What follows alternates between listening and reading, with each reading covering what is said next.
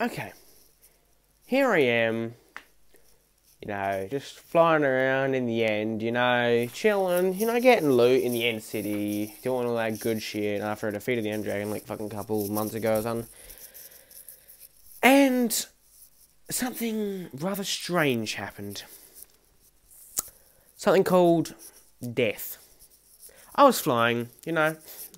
I pretty sure I was about to check my inventory to see how much um, life my launcher had left, and I'm pretty sure I had more than I had over half, and I barely used it. I'm pretty sure you would have had like half or more, like a launcher life left, and that's just not. And I just all of a sudden I didn't even click A. I didn't click A, and then fucking out of nowhere, it just disables the flight, and I stop flying, and then mid air, I didn't touch anything. Mid air, the totem of undying fucking gets used, and then I hit the ground and I fucking die. Microsoft, do you want to explain that?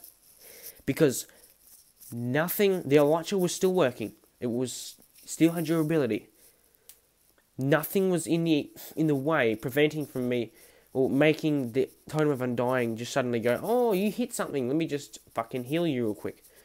It was like fucking Herobrine came in and just fucking took my fucking elytra off, fucking, and then used up my and then hit me and used up the fucking um totem of undying. So I just lost a whole bunch of diamond and iron shit, fully enchanted, fucking god shit, god sword, fucking levels, fucking everything. And I'm about to get some more. About to get some more shit. Go back into the fucking end, and hopefully fucking not do that again. And if it does, I'm going to uninstall Minecraft and never going to fucking play it again because that's just not cool.